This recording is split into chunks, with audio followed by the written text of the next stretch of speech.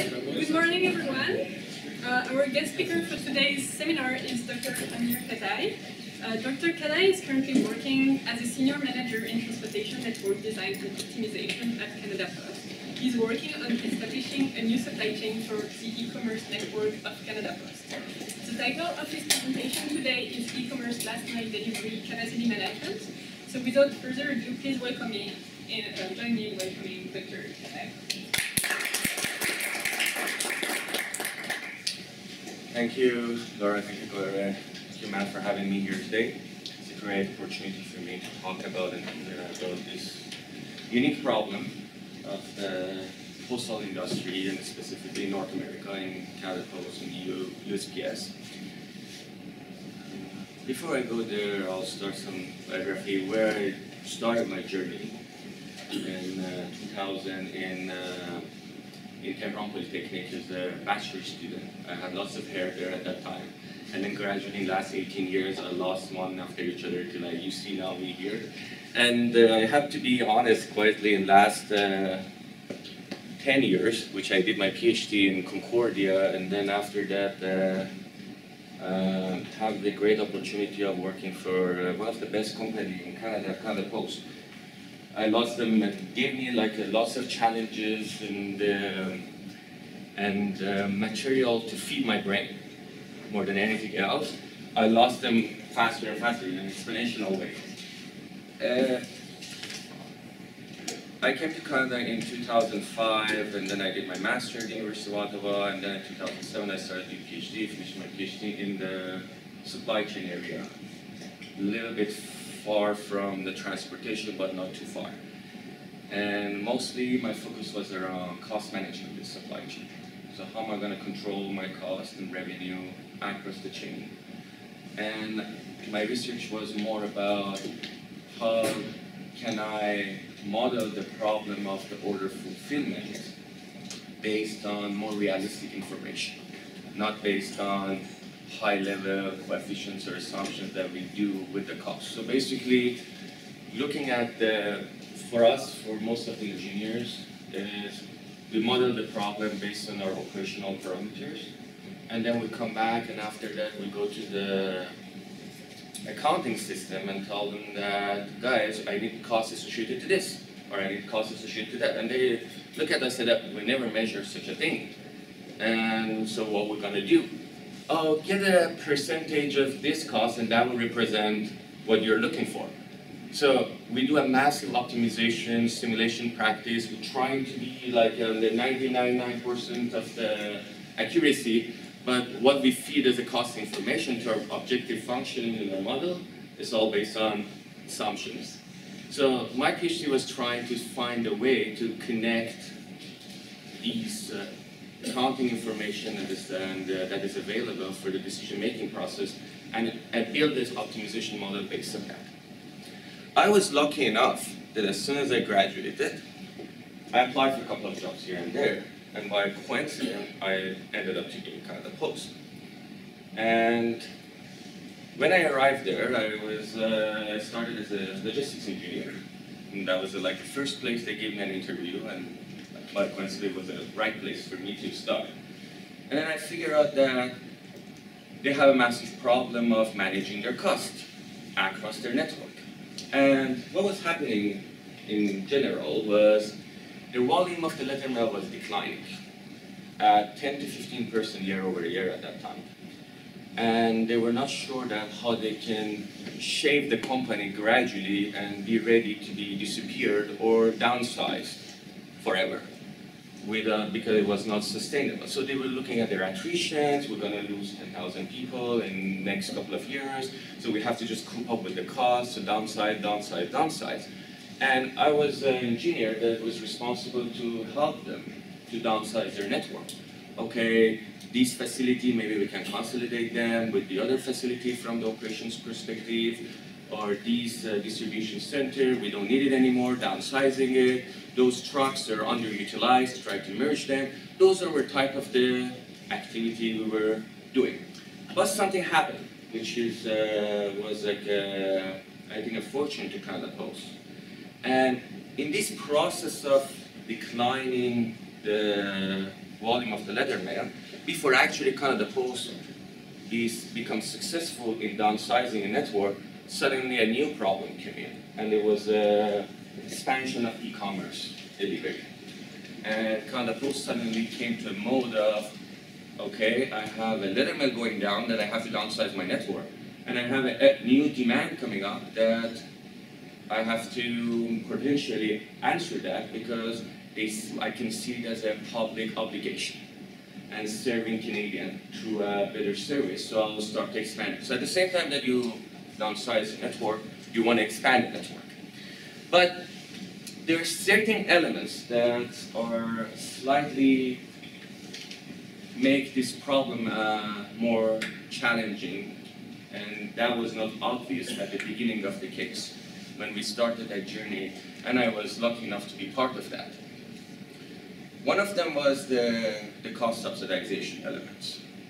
So Canada Post Network was built around better All these 550 depots across the country, thousands, thousands of the nodes of in the rural area, all the buildings, all the delivery agents, all the static routing of the delivery agents because your letter carriers is every day the same letter carrier that come to your address. So it's not like a like FedEx or UPS model that so I don't have a volume here today, I'm not going to go to that address. It's all about the same guy doing the same job every day. And all that massive infrastructure and uh, been built and being paid by letter mail. The, and it's easy to justify that, okay, I'm going to that address, uh, so to deliver my letter mail, to deliver my uh, on-address mail or address mail, which we call it these days, uh, smart mail. And so many people, they call it junk mail, but I'll call it a smart mail today. um, uh, needs to be delivered, so it doesn't matter that I'm at that point and I'm gonna walk to the door of the guy. So there's a packet in my bag, I'll drop that in. How much does it cost? For the last month delivery, doesn't cost anything. Because I'm already have to go there because of other product. But the question becomes that if the other product is starting to be removed from your network, who will pay for that last step and last mile? So there are two problems. The problems around the, at the beginning. The problem was only about last mile.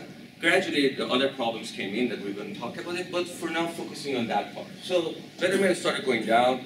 We had a problem to, deliver, to pay for the delivery. And Stockholm started to decline and then started to inform uh, uh, or announce negative margin or loss.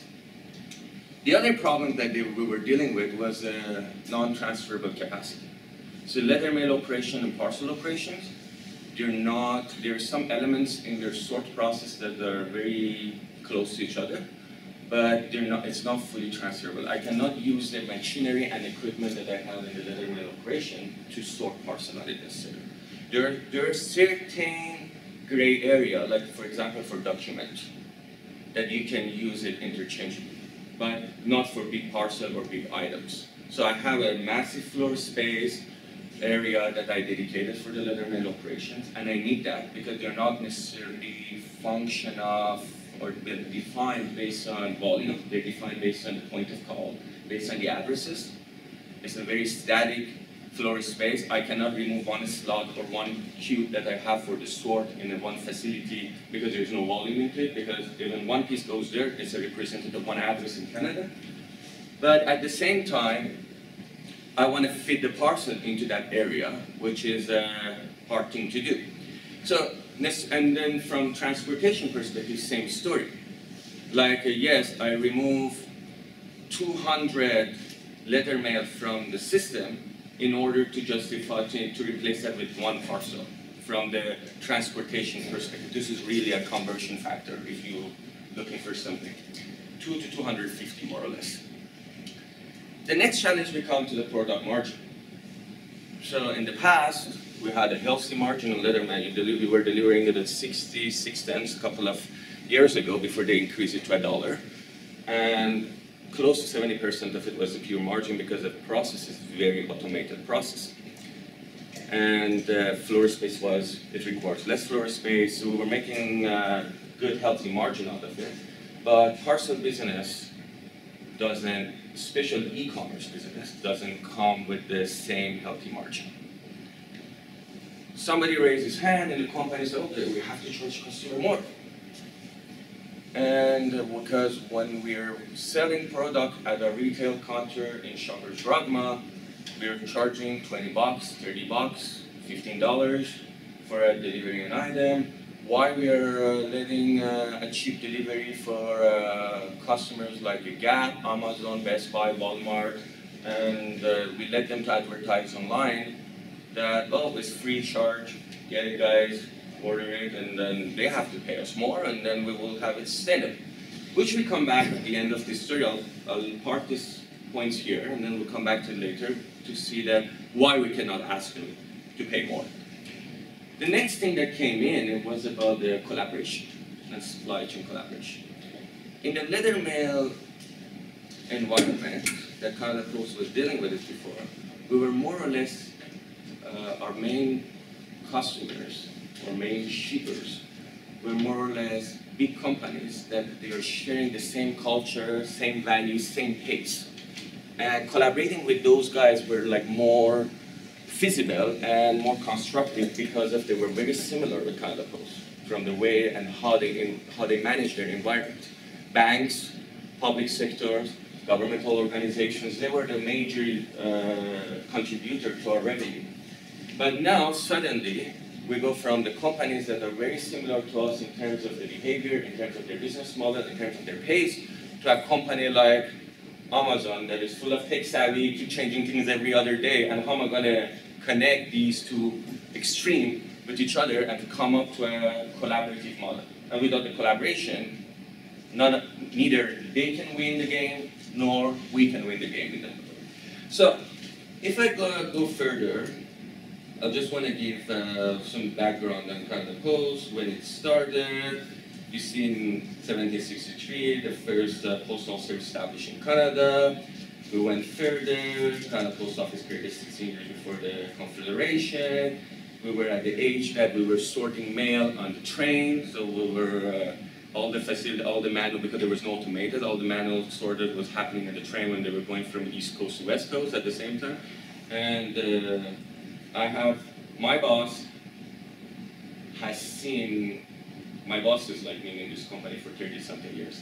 And he was telling me that the other day that his first boss started as one of those train uh, uh, sort guy that when he joined the company like 30 years ago, his boss was about to retire, and that guy was the guy that started before that as a train sorting guy. So I never seen those guys, but at least I can tell you that I've seen a guy that knows those guys.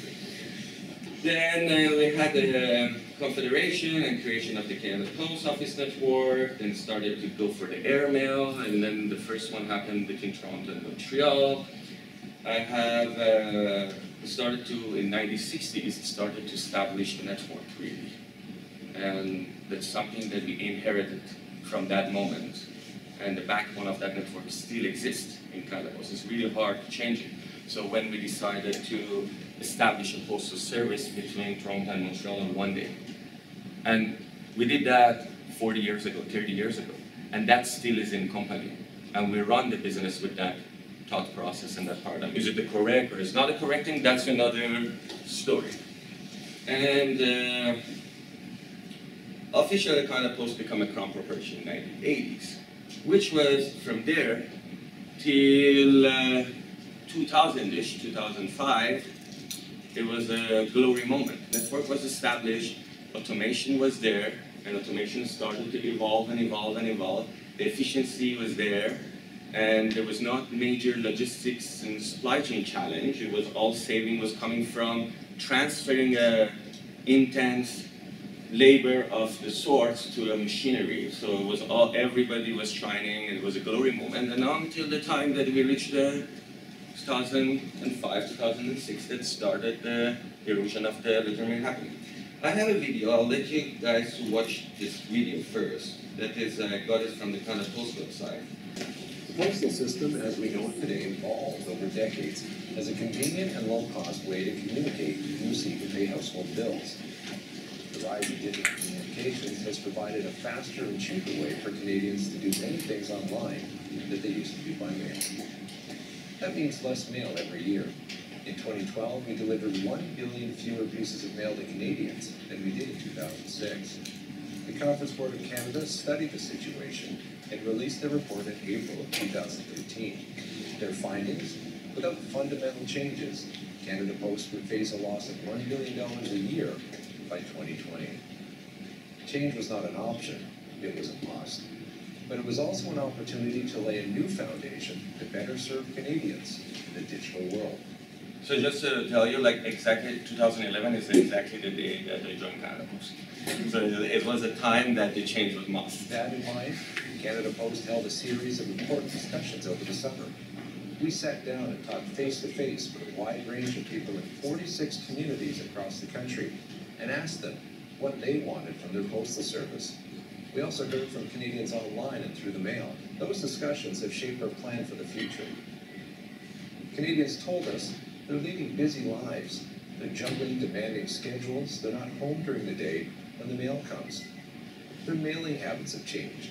It's easier to go online to pay their bills. It's also easier to shop online and have their purchases delivered to their home.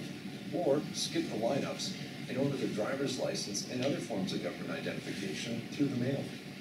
Canadians see an important role for Canada Post going forward. They understand the challenges we face, but expect us to overcome them without turning to their tax dollars for funding. And we. And there's something cute here is Canada Post was ready even to become a smaller company. That's why they came with an idea of e-post. They were okay, we're gonna lose these guys regardless. Let's find a way to not be too small. And they accepted that, so they were even contributing in the decline. So we were going to the uh, banks, to the government, and say, guys, why you don't switch to the to the uh, e- e-post instead of the letter mail, and then uh, come to our channel because we wanted, we were thinking that oh yeah, we're gonna lose them regardless. So it's better off to make them dependent on us. So it was the fact that they accepted at the point. Great. The new postal system that Canada Post is launching provides Canadians with the postal services they want and need now and in the future. And it will return Canada Post to financial sustainability by 2019. We are launching five initiatives that together form the foundation of the new postal system designed to serve busy Canadians and meet their changing needs no matter where they live. The one third of Canadian households that receive mail at their door will be converted to community mailbox delivery over the next five years. Unlike a household mailbox, community mailboxes offer individually locked mail compartments and locked parcel compartments. They're ideal for securely and conveniently receiving online orders and identification mail. Two thirds of Canadians already receive their mail and parcels through some form of community mailbox, lobby mailbox, or rural mailbox, and will see no change. A new tiered approach to pricing means that stamp prices within Canada will increase. Those who buy stamps and booklets or coils will pay 85 cents per stamp, with discounts for customers that use the mail most. The cost of sending a letter from one part of the country to another will remain a good value, with the new pricing structure taking effect on March 31st, 2014. Canada Post will strengthen its retail network by launching more franchise postal outlets and stores across Canada. We will seek new partnerships with local retail businesses that are conveniently located in the communities they serve. We will look for retailers that offer benefits that customers appreciate, such as better parking and longer hours. Franchise post offices also allow customers to do more shopping in one place and are ideal for busy on-the-go Canadians. Internal changes to our operations will improve the flow of parcels and mail through our network and out to Canadians while helping to reduce costs. Examples of changes include fully utilizing faster, more computerized sorting equipment at our plants, continuing to motorize delivery routes so that one employee can deliver both mail and parcels at the same time, and improving scanning abilities so you can track your parcels throughout the process. Canada Post will continue its efforts to address labor costs across the organization through collective bargaining. As well, with thousands of employees to retire in the next five years, Canada Post has an opportunity to hire only who we need to serve the future needs of Canadians. A leaner workforce will allow us to operate with more flexibility so we can respond more quickly to our customers' needs as they continue to change in the digital era. Together, these five initiatives create a new postal system that will not only serve you, our customers, better, but also put Canada Post on solid financial ground. Four of the five initiatives alone are worth between seven hundred million and nine hundred million dollars a year. That means no taxpayer money. Canada Post looks forward to continuing to serve all Canadians, and we look forward to serving you better, now and in the future. Welcome to the new Canada Post. When I saw this video first time, I thought like uh, I'm ready now to fly. It's like a, the, gives me the imagination that I'm in the airplane, and that's one of like typical to one of those videos that they show that I'll make sure that you close your seatbelt before helping the passengers on your side and stuff. So that gives you like a little bit of also the environment and thought process of Canada Post, okay? With the video that you see, like think about it like that. It's a little bit different between this video and the video that comes from Amazon. There's a video that shows the business in FedEx. So now I want to go to lots of ambiguity that it turned out around me. That why should I do all of this once still? To a, to a reality. And yes, they, we had a very good direction, which was the document that, uh, that is available and online as well. The, the, they call it five-point action plan that they were talking about.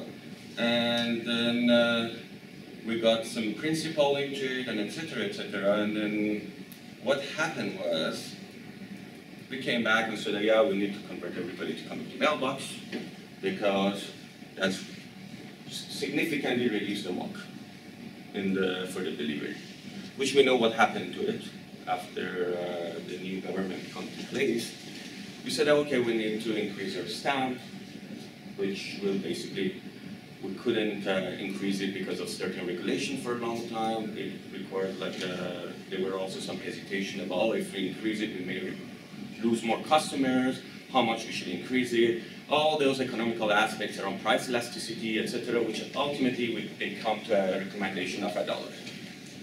This store expansion, it's suddenly you come back and say, okay, on one side I'll try to reduce costs, but the store expansion will will means more investment and uh, more money and more cost added to the system. So you see now you come gradually to the point that, okay, at the same time I have to downsize my network, reduce my cost, and, the, and increase my visibility. How that is possible, how they are syncing together. Then they come back, which is a part that I got involved more and more and more and more, which was the streamlining the operations. And when you listen to the even the video, it was more and more around letter mail operation. Still, what are we going to do with the parcel? And if we want to invest in the parcel, where the money going to come from to invest in the parcel? For, because ultimately they're looking at it, they said, okay, I want to put a new sorter here, $50 million, etc., etc., etc. We're going to run this much parcel on it. And then at the end of the game, I have to have it paid back in 10 years or 15 years. But if the margin on the parcel is not a healthy margin, if there are lots of uncertainty about the business of e-commerce, how am I going to justify this sort of from financial perspective? So you come back again, you do more investment around your letter mail operation to reduce in the costs associated with that, but still, you don't know still how we're going to expand our parcel model, business model differently in a, in a more, and develop it in an agile way. Not going to our, not mimicking our traditional model of the parcel that, okay, people go on the counter, order something, stamp on it, and take it out. How the scanning should work, how the process should work, how the sort should be uh, adjusted, and etc., etc., etc., to make it cheaper. Because people traditionally think that, okay, we have always, we had always parcel business in, in Canada Post, so we do the same thing. But there is a difference between a parcel that comes from Amir Inc. as an occasional shipper on eBay and a parcel that comes from Amazon. We always say that not every ball is a soccer ball. You cannot shoot the bowling ball with the same manner that you play with the soccer ball, so it's gonna hurt you. And you, and as a, as a company, Canada Post try to involve and figuring out how am I gonna do that differently in order to reduce this cost and increase our margin gradually. And there was also discussion around attrition. But the problem, the major problem is on streamlining the operation, the solution is always into the weeds. There is a big challenge around evolving the process.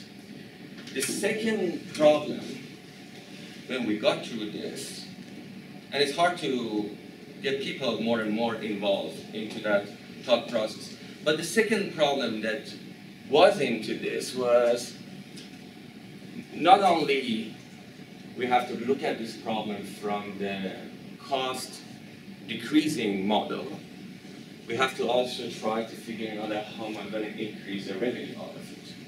So you have, if you want to make it viable and you want to answer the growth that we see in the online retailer that I have a couple of them in here for the US market, and I have the next slide showing that the growth that is happening was happening in uh, in sort of 2015ish across the country in the different geographical area.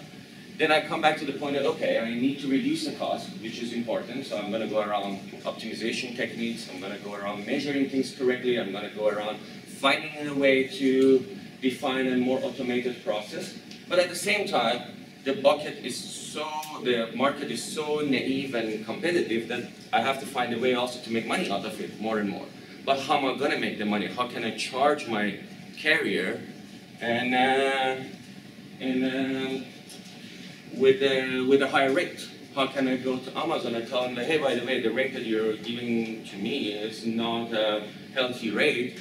I need to charge you fifteen dollars for delivery. I need to charge you ten dollars for delivery because I need to invest in my infrastructure and automation to reduce my processing cost.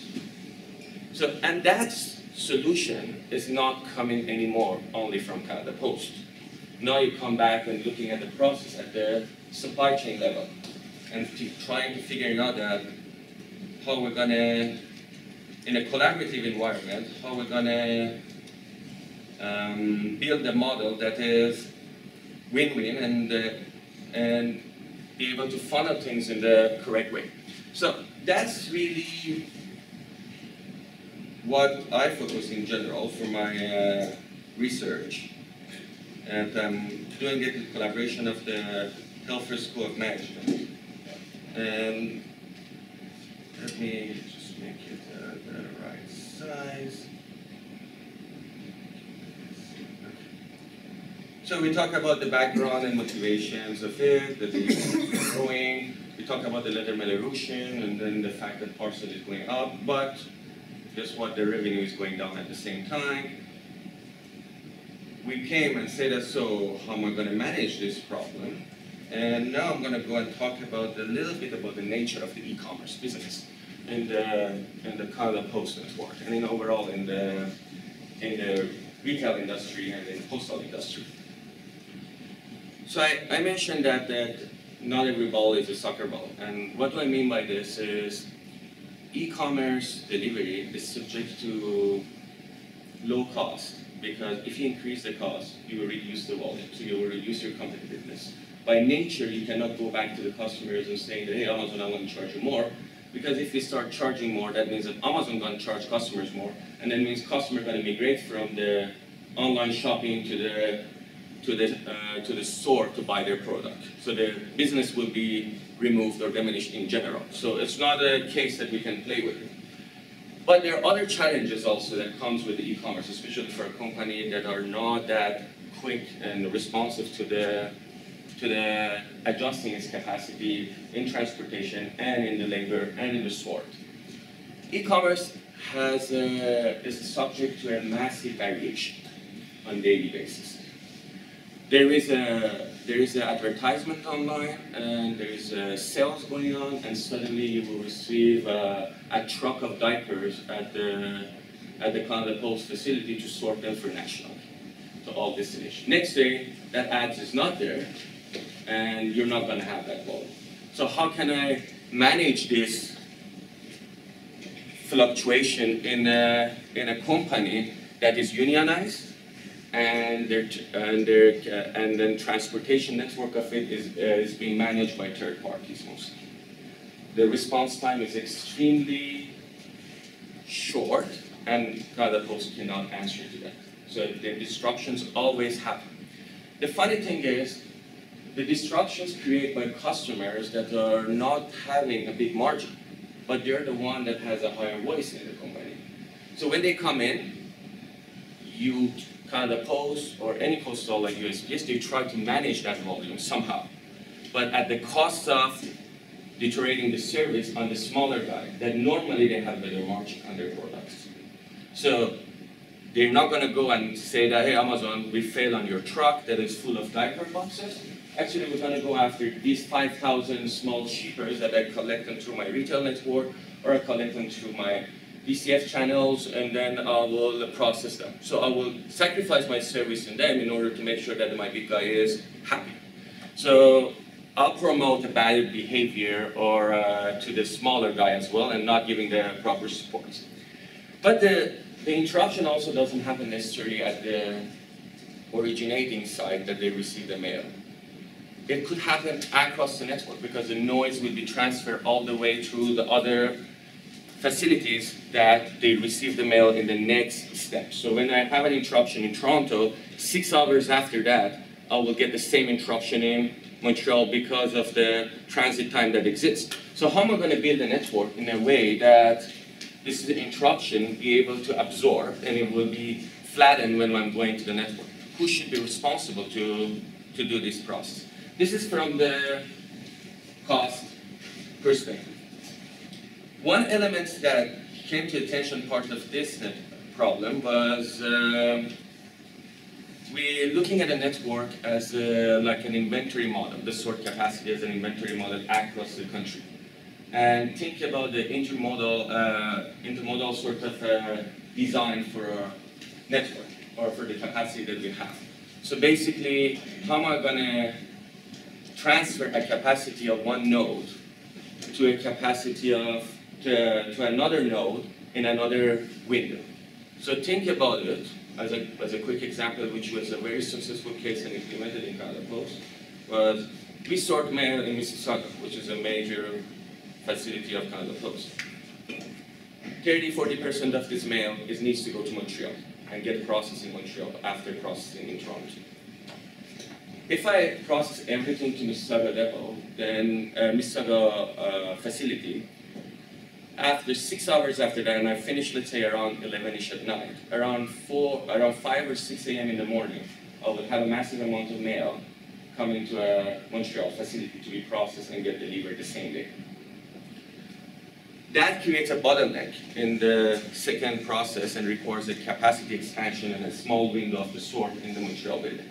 Now, we want to make sure that that model, will, now we want to see that how we're going to connect these two to each other. So the main, the first solution was I'll sort things in the node one, then I transfer it, and again I sort it.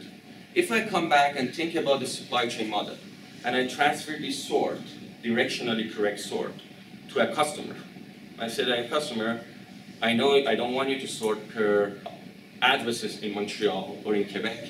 What I want you to tell me is if a mail needs to go towards east, you bucket them together and you dispatch it from your facility rather than us bringing it to us. So right away, you basically what you did was you take the, you replace the sort, dispatch, and sort with a dispatch and sort. So because the sort now happening in the customer. So instead of I put the mail into Toronto, takes six hours, I will be able to go six hours earlier. Now I arrive six hours earlier to Montreal by, by doing that. And then you can share that benefit with the, with the customers. That's what I mean, like a, uh, supply chain collaboration or intermodal design. So I was able to transfer the capacity of the shift 3 operations in Toronto between 1800 and midnight to a shift 1 operation in Montreal between midnight and 4 a.m. by doing that game and, and load level my process across the network. Everyone is okay, so we have a, we have a perfect solution for it, so we can do that widely everywhere then all types of challenge will come to replace. What is the threshold of applying that strategy to the customers? I cannot just, I cannot tell the customers to do the store, pay for the truck when they have less than a little truck. then some customers will come back, oh, I can have the less than a low truck, I can have a full truck, but it will happen every other day. They will come with a service iteration. If because you want to do this to decrease the cost. I can come back and say, that, okay, how am I gonna how am I gonna compensate customers by doing that? A customer that is already having a small margin. So I'm gonna go give a more discount to the customer that is already not contributing to my profit a lot. So how am I going to motivate them to do this job for me? How am I going to justify customer to build an infrastructure that can help me to, to do these types of sort for me? And how am I distribute the benefit accordingly between them and us? So all those types of questions to come to the attention of people that, okay, how am I to make this work? In general, what we decided to do was, I go back to the same one, I have the slides here, but.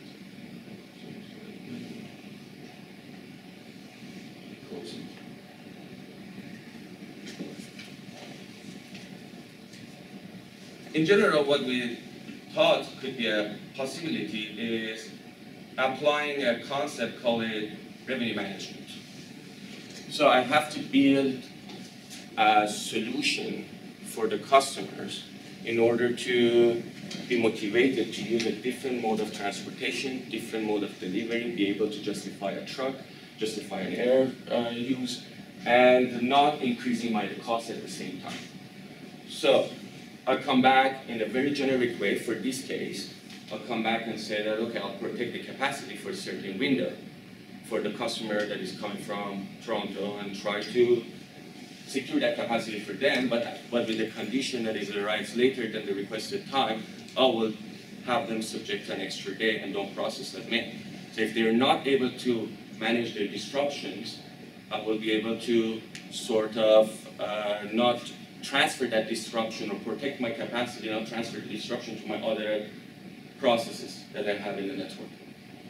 But I want to go and expand this concept more and more and thinking through the fact that going back to the problem that we discussed at the beginning, which was around how am I going to make customers to pay more for their delivery.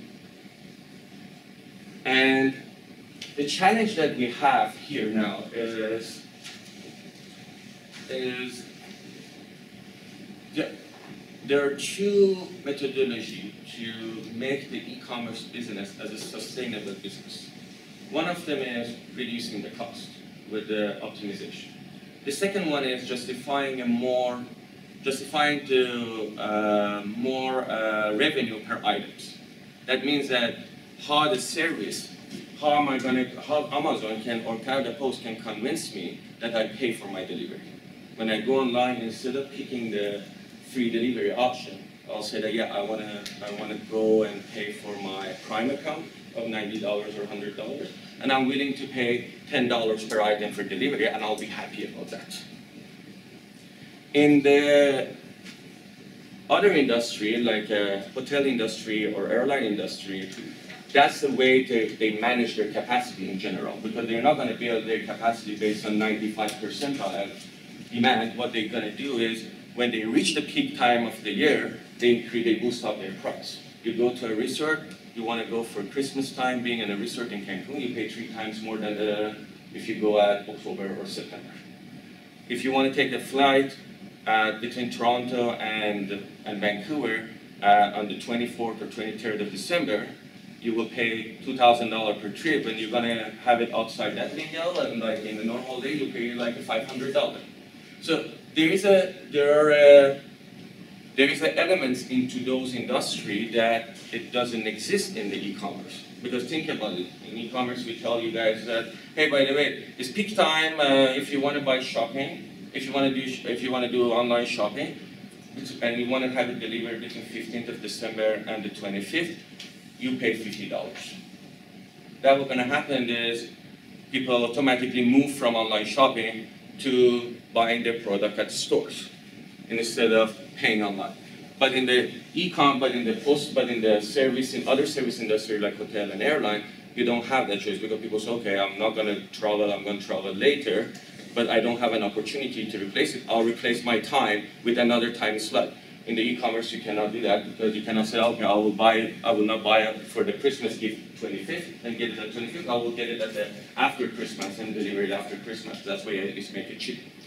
So it will erode there, it will decline the volume if we go with that approach. The second problem that you have is the distinguishing between the services that we are offering.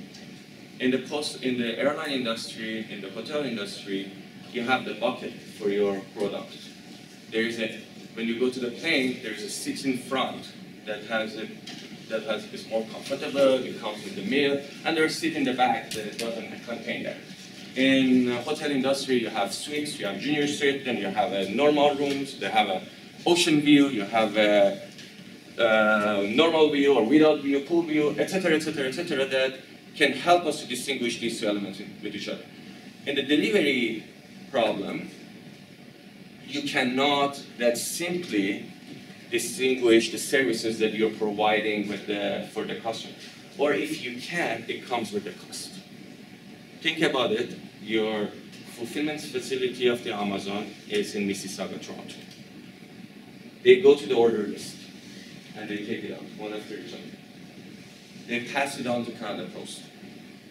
And they, can, they tell Canada Post, look, there is a one that has a tape of Prime on it, I want to get delivered tomorrow.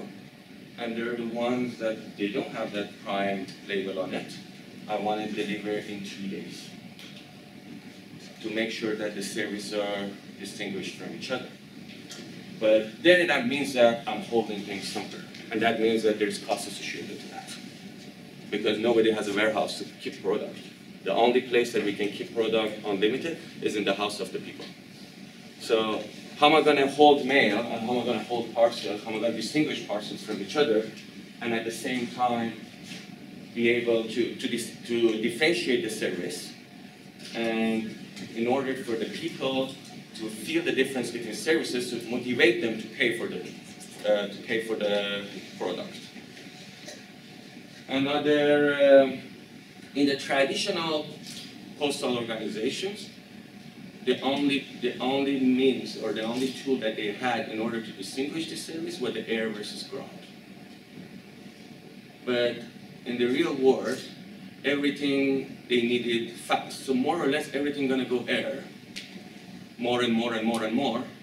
And but at the same time, how can I have one air cheaper than the other air?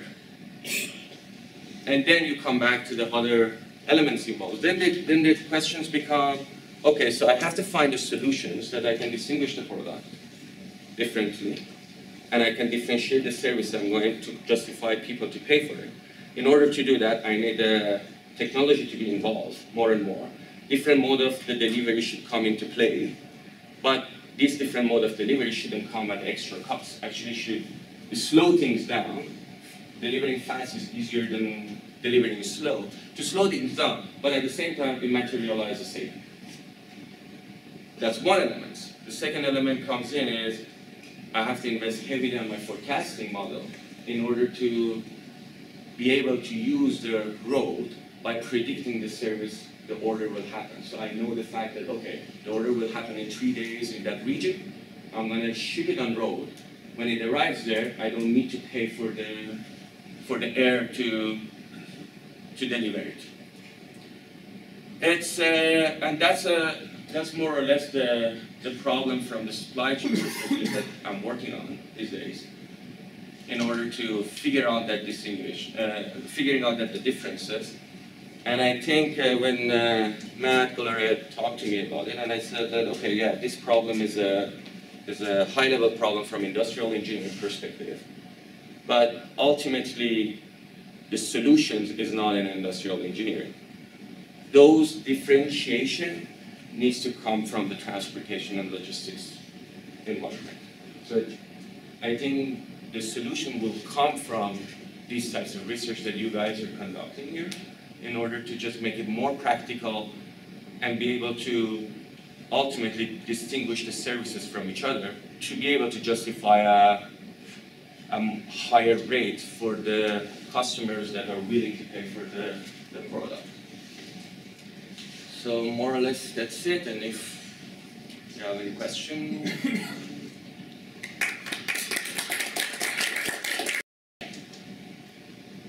yep. Uh, really, based on Trump critique for the postal service and Amazon. And then I don't agree with you about we cannot charge the e-commerce anymore because they will lose the customers. Okay. I don't know, maybe this is not happening. Because this is the key factor of the success of the e-commerce. And the profit margin of the e-commerce company is so high, so they can absorb some extra charges from the companies because this is the, their key success factor. The- the- The challenge that we have, uh, or it exists in this market, is the transition time. Okay? We need to, Amazon needs to get money and invest it heavily in research and development. Because they are working towards distinguishing those services. That's why they went for the Prime account. And in order to define those, those elements that can distinguish services and justify people to pay, they need to heavily invest in their research and development activities that they have. So there's no money that you can spend it on an efficiency that exists in the two-day postal organizations and say, oh, you guys, I know you don't, uh, you're, you're uh, you know, you cannot like uh, cut your labors, you have a unionized environment, and et cetera, et. You have old equipment, and uh, you know what? We pay for this, and I do agree there is a margin there that can be paid, but that will, that money will not resolve the problem anymore for them because ultimately the lead time is defined based on the letter mail volume in this organization. And if the letter mail volume keep going up 5%, 5%, 5%, 5%, you reach a point that nobody can pay the cost. Even Amazon margin that today is quite healthy will not be able to recover the loss that you have in the in the postal organization because of the inefficiency that exists. So the whole game is how much I pay to this postal, so at the same time that we retain the service, at the same time, we are in the growth mode still. It's not stable, the business. So I cannot charge customers crazy to get money out of them. So that's a cap there. too, because we have to pollute the customers that, okay, you know what, if you pay $15 even for your delivery, nothing happens. The first time we got an iPhone, it was all $700 for an iPhone. It's a lot of money. Now like a $1,000 is okay, I'll pay for it because you're more dependent on the system. Then within that lead time, you try to find a solution that can make the business more sustainable before the systematic cost subsidization that existed in the system because of letter mail be totally removed. So that time, yeah, I do agree that potentially in the longer time, in the longer range, you will be able to pay more to the, to the carrier to deliver. But in this window that is very sensitive and we are in the disruption mode still, and the S-curve and the growth factor, uh, the growth involved, then you cannot spend the money for the for the for the inefficiency that exists, or or reinventing the network that we know that potentially cannot answer the needs of the future e-commerce. But there's other there's other scenario there too. This is if you look at the problem from private sector perspective. The other aspect is if I look at this problem from the public sector, if I, if I see e-commerce as a service to the Canadian society that is a first world country, okay? Like a low mortgage that you get, like free health, like a low school fee. Now we say hey, Canadian, uh, you will be subject to receive your parcels or online, your shopping at your door because government wants to help people to live better. Then at that time, the government has to put his hand after, for now, letter mail pays for it, but there will be a point that government puts his hand in his pocket, put two to three billion dollar every year on the table for, in order to provide that service to the Canadian. And that means ultimately will come from our pocket because of the tax.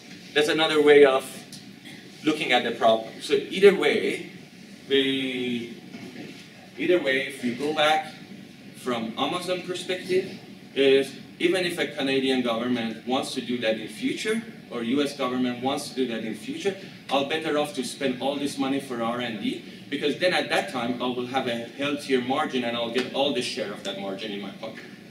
If you're looking at it, oh, it's going to go private, we'll say that, okay, I will share in future a little bit more with the carrier, but still I will pay for this R&D in advance and I will reduce my dependency on this carrier. So I don't think there is, for a short-term period, till we reach that point, there is a, there is a lot of money involved in the, in the, to invest in the postal industry and expansion of that. And one thing I can say is, because I mentioned about the, the revenue management and then the story of the peak planning and the other service industry versus postal, just to know how much stretch we have to do on the network over the peak versus non-peak period. Canada Post in summer time period delivers around 750,000 800,000 or so on average day. During peak season, we are at the 2.5 million, 2.4 million. So you're talking about a network that should stretch up three times. And investment from the investment perspective, when we want to define an investment, we said, oh, I want to have a network that works 95% out of the time.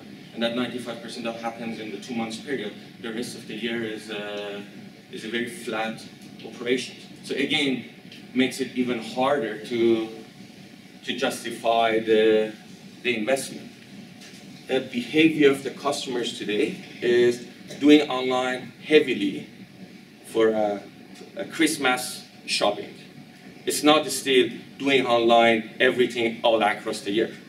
That, that makes the life much easier if that habit was existing.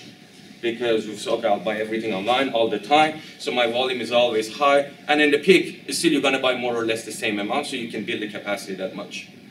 It's not, we are not there. It still is considered to a, sort of follows the pattern of the vacations or the traveling, but over there you have a function of the managing the demand with the price. Here you don't have that tool in your hand. Yep. That one thing you said about the surge pricing, I, I couldn't, uh, I thought it was a little bit off, because I think surge pricing is the only way you balance those, those, what you're talking about, that you have, you know. It's the same thing as sort of tolling highways and stuff, Yeah. you know, you wanna move that demand, Yeah. you gotta flip the opposite, where you say there's, there's times where there are surge pricing, but that means also the, the, the- low times are where you get discount pricing. So that's how you create movement. And, you know, that, that analogy about the Christmas time, you don't wanna pay the extra thirty dollars. Sure you do, because you know then if you go to the mall, the parking lot's gonna be full, and it's gonna be horrible, so then that thirty dollars makes a lot of sense to you as a consumer. But off-season, you go, yeah, I'll go to the mall, there's no one there, right, you know, so then, if you, so that's how that, the whole bounce. The fact that that time occurs, that's something you have to take advantage of in, in, in basic economic principles to, to balance things out. That's the only way we've discovered in society to balance surges is to charge. Yeah. You know, and if, and, if uh, that doesn't work, and I think it works in e-commerce, if you said it doesn't really not the same, and I think it absolutely is. It's a universal principle. It, it should be. The problem that we have is the solution that exists in order to actually materialize those uh, discounts to a, to a saving in the operation, those solutions not being yet. So in the airline industry, they gradually came to a solution that, okay, I will secure a portion of the airline to have a premium seat in it, and I'll try to push the other seats attached to each other as much as I can because we understood that that's the nature of the business and people are willing to pay. When I was a child, not child actually, like 10 years ago, there was it was very norm to all the airline provides food when you were sitting, and now these days they're cutting it and people are okay with it. So they find those anchors. The problem is in e-commerce, those anchors are not well defined yet, and it's not the solutions that actually enable you to cut costs in the operation when you use them. They're not well defined, and they're not synced properly. From the user's point of view, there, there's an obvious advantage of, in cost of not having to go out and convenience, and that's what's factored into it completely. So that's as a, as a, as a decision, when you're buying on stuff online, is because it's easy, and you're doing it because there's no economic, and it comes to your door, you don't have to be there, it's beautiful, it's Yeah. awesome, my wife loves it, right? And it gives her a lot more time to do other stuff. Perfect. So, but look at it from the governmental point of view. What if the government just built a subway to a mall, right? And now no one's going to the mall anymore. So, then, and you're saying, well, we should, you know, promote this as a as a as a right thing that we should be able to get packages at the door. That's Absolutely. right, you know, that's the same concept, then you're, kind of cutting yourself off if, you know, if you want people moving around to malls and stuff to buy things on the subway. You know, I don't think Yorkdale Mall would be happy about that because, or even the TTC using, the, the subway will be, will be less and people will go to the malls and use the buses less. So then you're kind of cutting one hand off to, to help the other, so there's a very slippery slope in doing anything like that. And that's why those basic economic principles cost must be retained, so that can never be a free service. Like, No, it cannot. It cannot, it's just, like, even when you think of it in terms of transit, right? You say, man, people might, they say, oh, transit should be free, it's like, no, it can never, just like the roads shouldn't be free. The only thing that are free are the roads, and they shouldn't be free either, because then we have no economic principles To- to, to manage the, the gridlock and the congestion we have, because that's the only way as human beings we figured out to manage these Yeah. things. But but when you're in the when you're in the growth mode, and there is a there is a big custom there is a big competitor in your market which is called Walmart, and they are pushing everything that they can do to keep the people at stores. Then Amazon as a competitor comes to that business and says, okay, how much leverage I have? What is my price elasticity of that? How can I play conservative at the same time extremely fast to not let people to go back to store. All these pick up, order online and pick up at the store is a contrary attack to the Amazon that's telling that, oh, I will deliver at your door. Because they know the fact that if they get your feet there, then you may walk in the aisle and get something else out of it. Never get out. Yeah, you never get out. And that's the principle. So you have a monster like Walmart, which is a guru of the supply chain in the world, that try to push all types of solution to get people back to store. And you have another one that wants to be as price uh, competitive as Walmart, but provides the premium service of that you buy it, not only I'll package it for you, I'll box it for you, I'll bring it at your door. And by the way, like in Canada, the service is not very premium. In the States, I was at my cousin's place, well, and he's living in um, Dallas. Knocked on his door and I was going in and I said, oh, there's a box on the floor in front of the door. And I said, hey, but you like you don't want to get your online shopping in? He said, no, that's for return tomorrow. They pick it up. So they just, uh, they if they don't want the item, they just put it in the same box, leave it at the door, and the next day the guy will come and deliver it. So you see, it can go forever, like the service that you're. The challenge is that period of the time that you want to convert people, you want to pollute people to use you, and Amazon wants that. One of the things I think of a lot is, is what are the overall effects on traffic or on uh, greenhouse gases are like, by, by, like when, when you go to Costco or Walmart, by definition, you say, you buy a lot of stuff. As a consumer, you're like, well, now I'm gonna make sure that this trip I took, the hour I took, drove, blah, blah, is really gonna be worth it because I'm gonna spread those costs over as many items as I can buy, right? And so that's why people tend to buy a lot of stuff when they go to these places. And that's why retailing has changed from big box to small stores, because like even the boutique thing is like really hard to maintain in the e-commerce world, because all those specialty items are ideal for getting them to the Yeah. So, so, you know, in, in city planning, we talk about, oh, we wanna build, you know, a lot of small retail spaces, but there's just nobody to use them anymore. So, so in terms of reflecting on city planning, and, and specifically on the environment, because, you know, there is a lot of traffic on it. And this e-commerce item is taking, in the, in the final sum, is taking a lot of traffic off. But I'm not really sure. Like, like, cause like all these trucks are driving around all the time, so, you The, know, the, the, the point that is there is, if I leave the product to be collected by individuals, okay, let's say from the green gas emission perspective, I will have to go and make sure that you, myself, her, Laura, Laura, everybody is using an electric vehicle. I may not have okay? So you use your car all the time, so it's your choice, okay? When I push that to e-commerce, I can put the guy that does the delivery with electric vehicle. And then I can manage that always with the most uh, advanced technology. I cannot push the most advanced technology to everybody in the society. So you funnel it to a person that can have an impact. That's why I said that the solution, the differentiation comes from here. the logic and subject comes here. I can tell you, yeah, the problem is about the growth and then price elasticity and how we play with it, how we connect the nodes to each other. But at the end, the differentiation comes with the fact that how can I look at this problem, how can I look at this differentiation from autonomous vehicle perspective? How can I look at this differentiation from green gas emission? And funneling it to a specific channel, now that channel is managed. Funneling it openly like that, then everybody choose their own way to do it. One thing about the courier industry is it'll never be autonomous because you always need a driver, Yeah. right? So the autonomous vehicle thing's not gonna work for you. Not, not, not hundred percent, no, because of the deliveries always comes with And there's a security aspect. there's a security aspect. Yeah, it's all about that balance, that how far we can push the technology to, to up to which level you can bring it. But the parcel delivery, the last part, the last steps at least I can tell you, is always gonna be manual. Even the sort of the items are already half manual, like the semi-automated the robots that pick up items, put them on the sorters, and the robots that they pick it up and with, but still pulling the items out of the floor space, et cetera, et cetera, they're all gonna be manual first. So in like, like in transit, the last mile is always a walk. Well, yeah, it could. Alright, I was just suggesting You- you- adjourn. Thank you very much. Thank you.